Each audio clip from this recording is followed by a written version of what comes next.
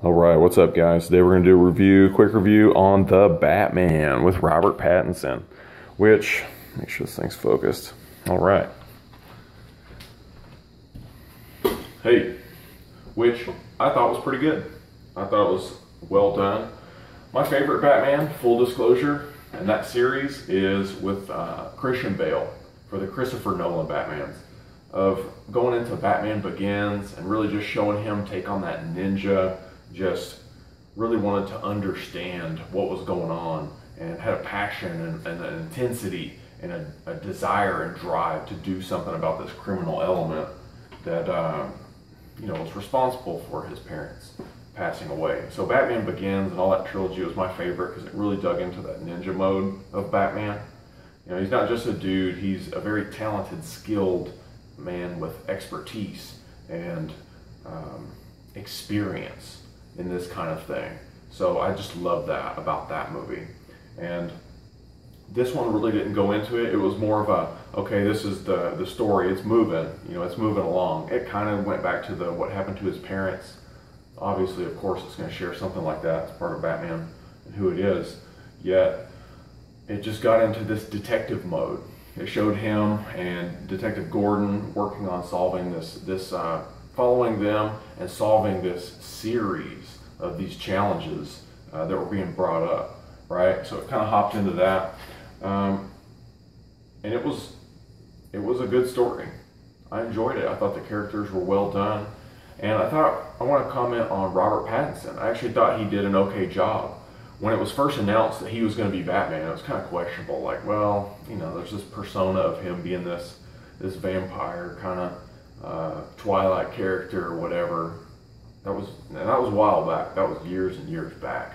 And so we've got this this reference point, this image of him in our mind of, of that kind of character. And it kind of bleeds over a little bit. Yet he's older, and so this Batman, he, he's bulked up a little bit, and he had to do some kind of training. I didn't really look into it much, but he had to do some kind of training because he does somewhat fit that kind of role of looking like a younger, uh, growing into Batman type of character.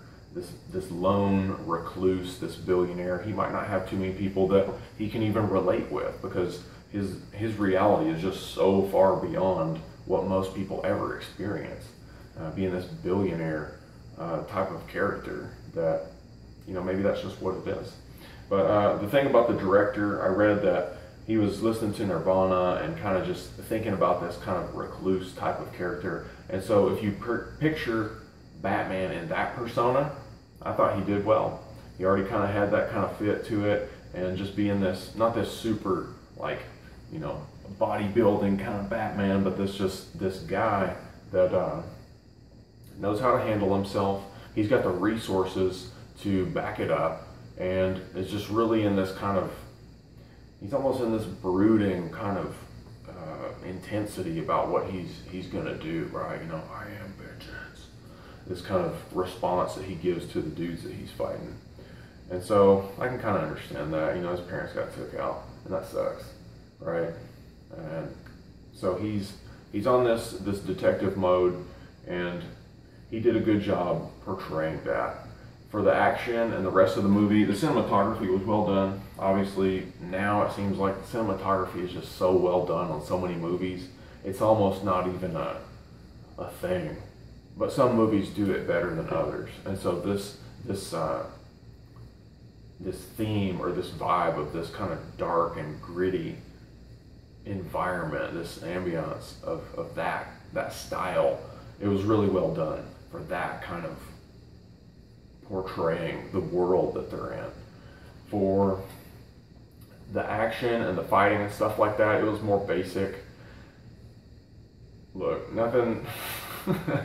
the action standard these days is raised to a level that is, man, it is something to keep up with. And so you've got this movie where it's just this Batman character that's not really going too off on everybody. You know, he's got some moves, he can handle himself, but I'm just picturing his gloves or whatever he's got are reinforced with something. You know, you, how many right hands do you have to see just punching some dudes and they're out? before it's kind of like, and that wasn't all of it, but it's kind of like, okay, something's going on there. You know, he's not this super martial art master, which some of the Batmans seems like was uh, part of it, one of the comics. I really don't know the history of it. I can't really comment on it. But him being a martial artist. So in this movie, it wasn't really like that. He was just, you know, this kind of guy that can can handle himself. But it seemed like I pictured he had some kind of brass knuckles or something built into his gloves, so he could just work these dudes over. And uh, so it, it was okay. I didn't feel like it was quite up to the standard, but the, he got the job done, and it played out smooth enough for a, a more like moving into Batman type of character. He's not fully, fully Batman yet. He's moving into the Batman character. So it was well done enough. And let's see what else is on there. Um, all the different characters, I enjoyed it. I thought uh, Colin Farrell did a, a, really good job as, as his role. And then Zoe Kravitz as Catwoman. I enjoyed her as Catwoman. I really love seeing them riding the motorcycles together. That was one of my favorite parts of the whole movie. There were some cool scenes. There was a driving scene that was that I enjoyed. That was uh, a little kick of intensity up the notches a little bit to it. You know, that did kind of something. I mean, there wasn't a whole lot. It was more the detective mode. But there was a couple scenes like that that were cool that added something to it as far as like some pace and some intensity and some action to it. Uh, but this scene of them riding their motorcycles together, I saw that and I was just like, ah, I love that. I really love that. And I like that kind of dynamic. It makes me think of the movie that I want to create could have something really awesome like that in there. Maybe some kind of romance and some kind of, I don't want to say Mad Max, because something I would want to create would be a different level, but some kind of dynamic with motorcycles specifically. Yeah, the whole vehicle situation, that's cool, but more with motorcycles. And the way they did that was very brief. It was very brief. But I really liked that, that he was, at the first of the movie, he was on the motorcycle, just riding around on his motorcycle, right? And then later on, it's like, oh, okay, now he's in it. And that was when he was in civilian mode, kind of like tracking people and seeing what's going on, playing detective or whatever. But then later on, him and Catwoman, seeing them really blasting off, and they're both on their motorcycles. I just love that. And I would love to see some more stuff like that. Hint, hint. If any directors or anybody is watching this, like that, I would love to see some more stuff like that, some more vehicle stuff. Like, gosh, um, Ken Block, Gymkhana, all that drifting, that's super tight. I would love to see some stuff like that. And there was a little bit of that in, uh, what was that, Blacklight with Liam Neeson there were some pretty cool automotive scenes. So they had a little bit of that in the Batman. Um, it's more of this detective mode, kind of watching them follow the progression. I would say that anybody that's got the ideas of the the bad guy, what he's doing, and trying to rile up all these people to get out there doing all this stuff, and they're tripping, you know, got their masks on, they're doing all this stuff. You know, I just I rebuke the enemy and the thoughts of the enemy, of whatever that is that could be trying to work through people, whether that's you, whether that's me, or whoever. I just rebuke that in Jesus' name. Because I really think that if we don't pay attention to how we're going to hold our attitude and our mindset, it can slip into stuff like that. And too many people allow that kind of stuff to slip into you know, who they are and what they decide to do. And so then we've got all this trouble and all this chaos because people are going out there, maybe doing whatever, whatever it is that they're doing, that it's just really unnecessary. And I'm going to talk about that more in a future video for um, Liam Neeson movie. What was it? Um, Memory. I'm going to talk more about that in that movie. Anyway, I love some of that stuff that was going on in the Batman. It was a little bit long, uh, three hours one time in the theater was enough to watch that. I put this off for so long. I saw it in March. Uh, I put this off for so long that it's not even going to be in theater anymore. And whatever. If you got to see it, let me know what your thoughts are. I'm curious what they are and what you liked about it, what you didn't like about it, and feel free to share. So beside that, there's something else I wanted to share. It's May 2nd, 2022. And all these movies and shows and stuff are fun. That's great. But it's like, we can learn from that and we can level up maybe what type of character we want to be or what kind of story or progression or mission that we're on. Yet I think we really need to take it seriously that we bring this back to God. And this could be like a public service announcement that I just kind of sprinkle into every video, where some kind of something talking about God, bringing it back to Christ is really what it's about. And so just to point it back to Him and say, for whatever it is in my life or our lives in general, that He gets the glory for, and just say, Hallelujah and glory to God, because He has led me through so many things, and He can lead you through so many things if we are faithful to Him and keep Him first. So we need to bring it back to Him and keep Him in the focus. Which brings me to this day. Let's see, what does this say? This daily devotional thing, talking about John the Baptist. And it says, The world thinks that Christians are weirdos and laughs at what we believe about God. Right? But we bear the reproach of Christ gladly and pray that we will be faithful in the desert in which we have been placed. Ooh, that one speaks to me because I'm physically in the desert. It's not just spiritual metaphor kind of level. Physically, I'm in the desert. So that speaks to me as I watch God lead me through this process of uh, being humbled and leveling up in that humility and really learning to keep Him first and it's just a beautiful it's such a beautiful wonderful thing to keep god first and not just watching some sermons here and there reading a little bit of the bible but to go and really be part of church and open up your heart to serving for real it takes it to a different level like if you've thought about something like that go find out go find out not just going to church and keeping the chair warm but like going and really seeking for some kind of knowledge and wisdom that God can use to change and renew your mind and change you and watch that impact play out in your life, right? It's beautiful. And so the question that's with uh, the daily devotional thing, soul search. Your question for the day, am I faithful to my calling? Right?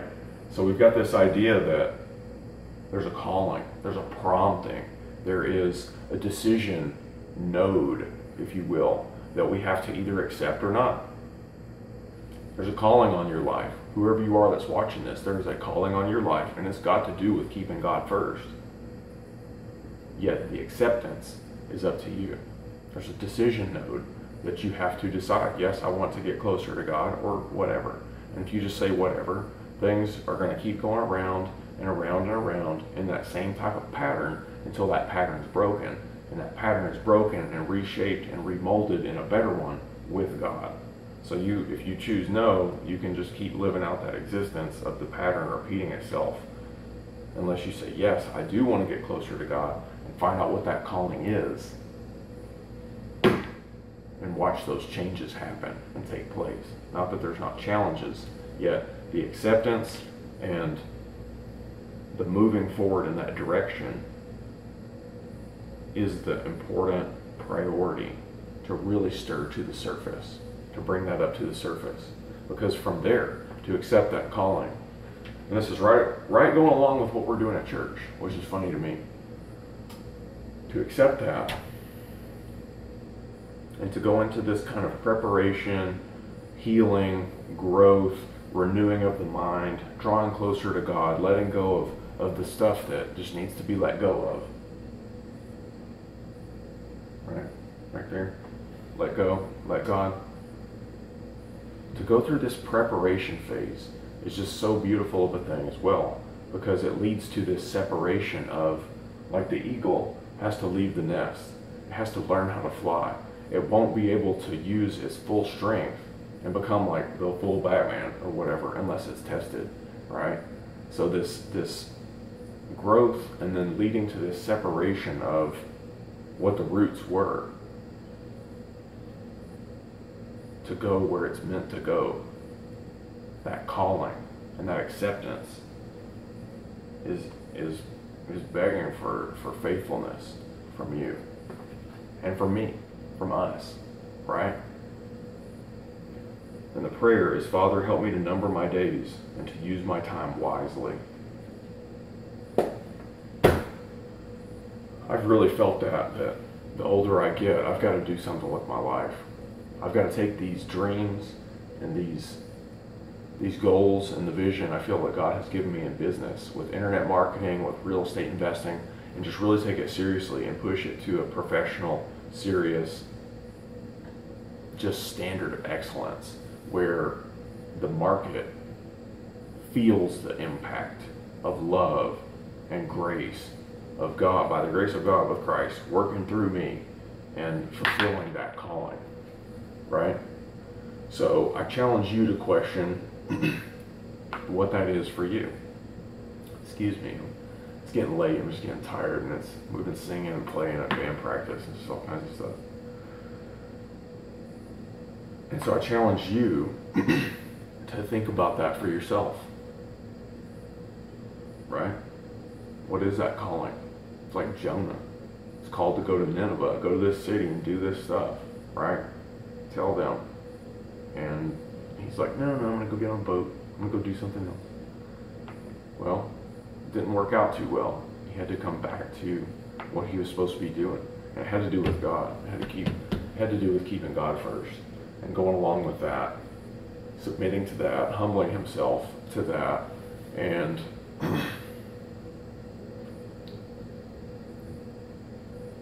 I don't know where I'm going with this. I'm to go ahead and wrap this up. But the movie was good with Batman. There was a mission that he was on, and the mission that we're on, we've got to take seriously while we're here, right? We can't just put it off because our days are numbered. And although these movies are great, we got to do something more than that, right? We have to. We have to be able to give back and to take this mission that we're on and the calling that we're on seriously. And I don't know what else to say other than that for tonight. I got some other stuff I'm going to do later with YouTube, so check back if you want. And let me know your comments. Let's take this stuff seriously, what we need to do with our life. Maybe get some kind of influence and inspiration from Batman, but the rest let's get from God. Peace.